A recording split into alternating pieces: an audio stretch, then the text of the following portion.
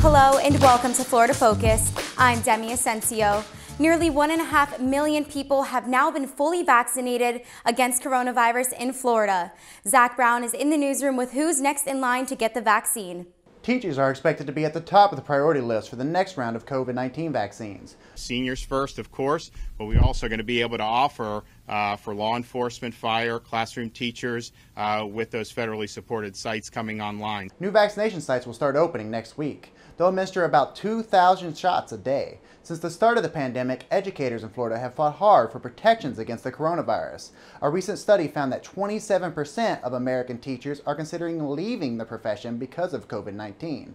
Instructors 50 and older can get their first dose at federal vaccination sites in Jacksonville, Miami, Orlando, and Tampa.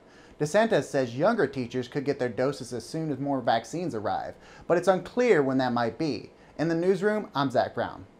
Since August, over 10,000 COVID cases have been reported in Hillsborough, Hernando, Pasco, and Pinellas County schools. The Florida Fish and Wildlife Conservation Commission is increasing patrols in St. Pete to find the people responsible for mutilating pelicans.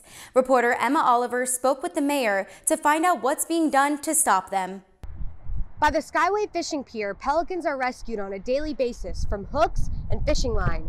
But recently, pelicans have been found scalped and severely injured. The brown pelican was made the official bird of St. Pete last year, but there are growing concerns for the future of this symbolic species. I think we need to make sure that we are speaking up um, and, and standing up for those birds and others who can't speak up for themselves.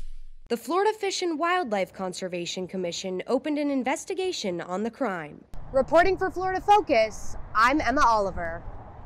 As we near the end of Black History Month, the Hillsborough County Library wants to keep Black history alive all year long. They're inviting people to explore their collection of books by Black history makers. One of their top recommendations includes How to Be Anti-Racist. It made headlines in recent years with the rise of the Black Lives Matter movement. They also have more than 20 movies you can watch for free, like Selma and Hidden Figures. Visit hcplc.org for more resources. Thank you for watching Florida Focus. Have a great evening.